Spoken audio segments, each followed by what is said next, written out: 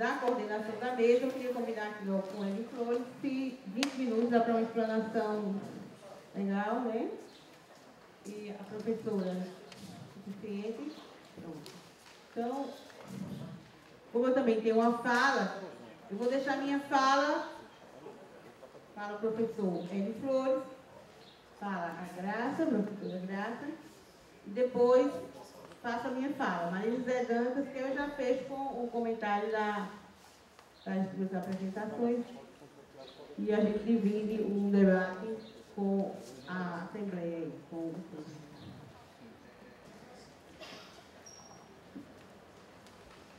Boa tarde a todos, a todas e todos. É, gostaria, como de praxe, agradecer a comissão organizadora do terceiro Fórum de Liderança Negra da Paraíba, o coordenador executivo, Carlos Henriques, e também gostaria de agradecer essa instituição que ah, ajudou e apoiou a organização desse evento né, porque de extrema importância a gente estar discutindo isso na escola pública, nos espaços públicos, e dar um retorno à sociedade daquilo que se vem fazendo, né, em termos de discussão, em termos de acompanhamento de políticas públicas, né, que, que parece também ser uma função nossa como é, professor ou como funcionários públicos. Né? É, também saúdo a mesa que está comigo na, com Maria José e Maria das Graças. Esperamos fazer um bom trabalho nesta mesa. Bom, gente, é, é, eu vou focar a minha fala justamente na, a partir de alguma experiência que a gente tem em função da de, da, de pensar como é que está a eficácia da Lei 10.639 ou a Lei de 2008, 11.645, né? As duas têm validade.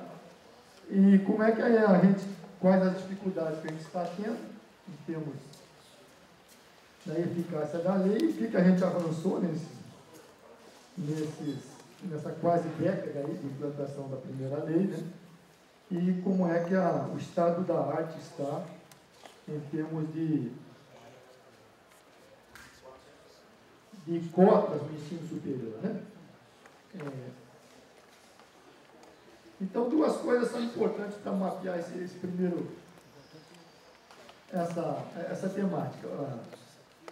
Primeiro que a universidade brasileira, como é sabido, né, demo, tem demorado né, a adotar as ações afirmativas, especialmente o seu sistema de cotas. Né.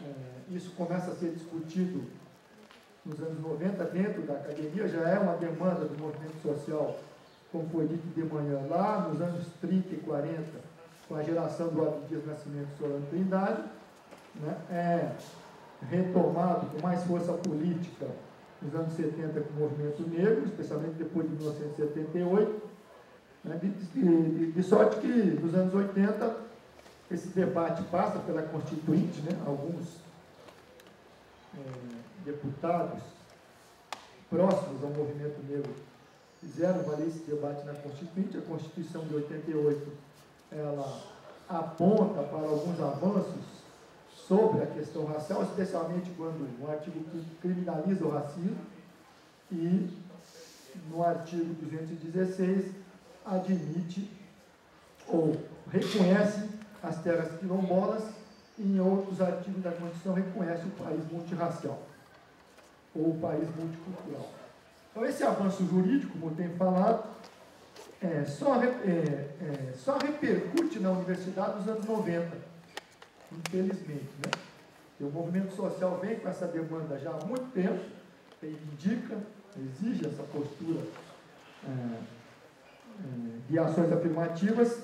A universidade vem discutir isso nos anos 90 e isso começa a ser implantado gradualmente é, em termos de é, planos de governo, ou em termos de atitudes de governo, ou ações de governo, no século XXI. Né?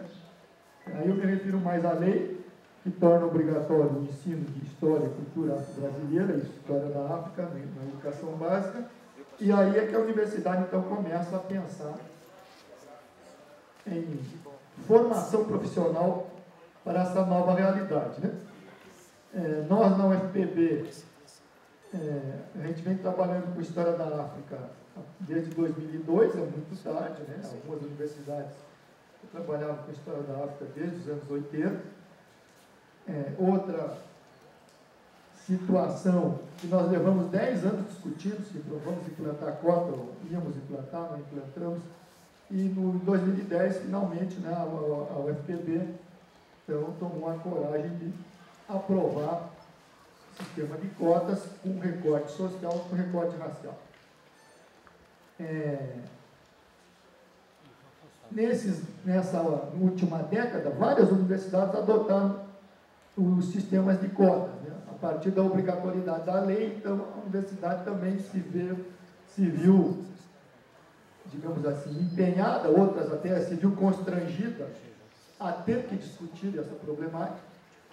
Né? E, num embate interno, né, muitas universidades conseguiram aprovar o sistema de ação afirmativa através de cota, é, com recorte racial, outras tiveram que negociar né, com as forças internas né, e aprovar um sistema de cotas chamada social, ou aquela socioeconômica, dando um percentual de vagas para os alunos oriundos da escola pública. É? Então, nesse embrólio todo aí, né, que, que, que é esse debate de ações afirmativas, de sistema de cotas da última década, o que, que nós temos assim de experiências interessantes? Por exemplo, é? É, o que, que nós temos de interessante que isso avançou? É? Dizer, hoje nós temos mais de 60 universidades federais ou estaduais, universidades públicas, que adotam o sistema de cotas. Isso dentro da, daquilo que chama autonomia universitária. Né? Isso não é uma lei federal, isso está sendo discutido no, no Supremo, né? deverá ser discutido, já teve uma notícia pública no ano passado, deverá ser votado este ano, o relator é o né? já fez uma audiência pública no ano passado, e é uma tendência favorável, né? o movimento negro aponta para isso, os intelectuais que estão próximos dessa discussão apontam que o próprio Supremo não tem mais como voltar atrás dizer, não, isso é inconstitucional, uma vez que a maioria das universidades está adotou algum sistema de ação afirmativa é, é, com recorte de cota, ou social, ou racial, ou de outra forma, ou mesmo recorte misto. Enfim, nessa última década, em função da relação com a lei, não é? a universidade é, consegue, digamos assim, discutir e implantar algumas medidas né, que levam, por exemplo, a uma aceitação desse debate. E no início do, em dois, eu me lembro que 2000, 2001, muitas universidades não aceitavam sequer debate. Né? E depois se conseguiu virar, né? a partir de 2004, 2005, aquela marcha zumbi mais 10 e tudo mais. De forma que isso é um, me parece que é uma conquista importante. Né? Como é que está a situação assim? Em algumas universidades as coisas avançaram mais. Por exemplo, vou dar o exemplo da Universidade Federal do Recôncavo Baiano, que é uma universidade nova, né? recentemente criada, e lá, inclusive, foi criada uma pró-reitoria de ações afirmativas e permanência estudantil. Mas isso é, é tão pouco, professor. Mas é uma nova mentalidade. Lembramos que todas as, as universidades têm pró-reitoria de assistência estudantil. A expressão remete a um outro tempo político, né? do populismo, não é? do autoritarismo, etc, etc. Quer dizer, uma pró-reitoria para cuidar das afir ações afirmativas e da permanência do estudante é, de fato, uma gestão nova. Né? É um mecanismo, um instrumento que essa universidade tem e, de fato, não só garantir a eficácia do sistema de cotas, mas também ter um instrumento legal e institucional capaz de é, acompanhar, capaz de dar apoio e capaz de realizar ou fazer ações para a permanência estudantil, ou seja, esse aluno que entra como cotista, que ele de fato tenha condições materiais efetivas para terminar o seu curso. Isso, por exemplo, deveria ter sido uma prática de todas as universidades. Mas a Universidade Federal do Recôncavo Baiano me parece que teve mais criatividade do que outras, que mesmo nós aqui na Paraíba. Né? Outra situação assim que me parece interessante é que onde as universidades adotaram o sistema de cotas, né, logo vieram outros, outras entidades que se, a, se a essa discussão. Por exemplo, os coletivos negros, né, muito importantes na, na, na, digamos assim, na, na implantação do sistema de cotas na UNB. Foi a primeira Universidade Federal a implantar as cotas no ano de 2004. Os coletivos de estudantes negros, né? os coletivos de mulheres negras, os coletivos de estudantes que se dedicam às espiritualidades afro-brasileiras ou às religiões afro-brasileiras, aqueles estudantes que têm dom para arte, para música, se reúnem enquanto coletivo de capoeira e dança e teatro, por exemplo, aos coletivos de, de, de, de samba, hip hop, enfim, essas manifestações artísticas vinculadas a uma cultura negra, por exemplo, no Brasil. Né? No, na UFPB, por exemplo, nós temos um núcleo de estudantes negras e negros. Então, isso é importante, quer dizer, né? onde né, o aluno autista ele começa a se organizar né, em torno de células, né, podemos dizer assim, né, e começa a construir uma organização sistemática, exigindo dos gestores da instituição né, é, respostas efetivas para as suas demandas. Então isso é importante, não, não adianta ter uma lei, né, como nós estamos vendo na, na lei que torna obrigatória a história da África, se a gente não tiver agentes efetivos que possam levar adiante aquela, digamos assim, conquista jurídica. Né? Algo que também considero importante é que essas universidades se obrigam a criar os seus NIABs, como foi falado aqui de manhã, né? Os núcleos de estudos afro-brasileiros e indígenas. Nós na UFPP criamos no ano passado. É uma burocracia, lamentavelmente, a gente leva é, de seis meses a um ano para fundar um NEAB. O nosso ainda está nos órgãos superiores, vai ser aprovado no Consul na reunião de abril. Né? Começamos a aprovar lá nos departamentos ainda no mês de agosto. Né? Mas, de qualquer forma, é importante que os NIABs sejam criados, porque ali vão se aglutinar professores, pesquisadores, estudantes, é, é, técnicos administrativos que podem, né, digamos assim, é, é atender demandas da sociedade, dos grupos dos movimentos sociais e que pode também, digamos, dialogar melhor né, com, a, com, com a sociedade civil, no sentido de trabalhar para que aquilo que chegar na, na universidade como demanda possa ser encaminhado ou possa ser resolvido é, é, com o tempo necessário que exige resoluções e ações de combate ao racismo. Né? Quando faltar cinco minutos, Maria eu encaminho a minha conclusão. É, então, gente, é, do ponto de vista assim, a relação universidade, cotas e a lei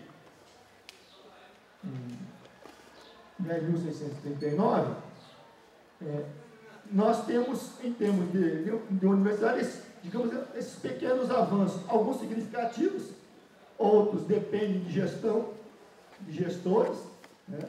e aí exige um esforço de sensibilização, luta política, enfim, e toda hora estar nesses gabinetes é, solicitando coisas, né? É, lamentavelmente ainda preciso fazer isso, né? e qual, qual é o nosso, o nosso nó, digamos assim, em termos de Paraíba, o que, qual é a sensibilidade? Né? É de que é, não está havendo cumprimento da lei. Né? Tem um colega que trabalha aqui no Cariri, no Sumé, ele está fazendo um movimento interessante, né, junto com os NIABs e com os professores da rede pública e com os movimentos negros, para que a gente comece a acionar né, o Ministério Público e comece a fazer movimentos para que os prefeitos possam implementar a lei. Né? O problema é, as prefeituras não estão nem aí para a lei. Né? Então tem que acionar o Ministério Público, tem que exigir e tem que começar a denunciar, porque essas prefeituras estão recebendo verbas federais para implementar ações que de fato efetivem a lei. E isso não está acontecendo. Então, esse é o nosso nó, quer dizer, como rompermos essa relação que é um tanto exclusivista, né, entre realidades locais, entre gestores ou gestores municipais e estadual, com, digamos assim, a universalização da Lei 10.639. Esse é o problema. Analisando uma década, né, de 2003 para cá, né, nós estamos com esse problema efetivo. Né? Quer dizer, é, já, se, já se fez e já se faz formação continuada, algumas prefeituras, né? já se tem história da África, cultura afro-brasileira, literatura afro-brasileira em alguns cursos das universidades, já se faz bastante eventos desse tipo em várias partes da Paraíba. Né? Nós temos ONGs, instituições, movimentos negros atuando nesse sentido, mas nós encontramos enormes dificuldades quando vamos tratar né, da eficácia da lei. Então, quando a gente busca aquela construção de ultrapassar a liberdade formal ou a igualdade formal estabelecida na Constituição de 88, né, a partir de ações de combate ao racismo e buscar uma eficácia da lei, nós esbarramos é, muito ainda, né? primeiro, na, porque há, há cinco anos atrás se reclamava muito, não temos materiais, não temos documentos, não temos é, livros didáticos, não temos condições de trabalhar efetivamente a lei sala de aula. Parece que essa realidade, algum, por exemplo, o pessoal do EPP tem pesquisado isso e tem demonstrado que há materiais, né? Tem materiais disponíveis, há algumas situações de avanço nisso, mas o, o, o, o que se esbarra é justamente nessa relação gestor, professor, sala de aula. Né? Quer dizer, é, é aquela ideia do, de um racismo institucional ainda. Quer dizer, não adianta né, professor o Jair está interessado, como ele é do movimento negro, vou trabalhar em sala de aula. Se o colega dele da outra quinta série não se interessar por isso. Então, o, a rigor, o voluntarismo, ele deve ser superado no sentido de ser medida institucional. Ora, nós temos a lei, né? nós temos uma série de avanços legais desde 1988. Né? Nós precisamos, então, analisando essa década para trás e projetando uma década para frente, nós precisamos de que é, fazer formação continuada para gestor. A gente já está fazendo para professor. Né? Acho que temos alguns resultados. Mas é preciso né, que o gestor que está lá à frente, momento, em dois anos, três anos, quatro anos, né, ele tenha essa sensibilidade e que ele seja cobrado por isso, né, por nós todos. Né? porque ele, ele é, é, é, preciso pequenas ações, às vezes, na escola para que isso aconteça. Né? É preciso é, alguma dimensão é, de gerir a coisa pública no sentido de que a educação tem que ser é, multirracial e multicultural. Né? Não, não, já nem estou pensando que essa educação seja inclusiva. É, é, é outro procedimento.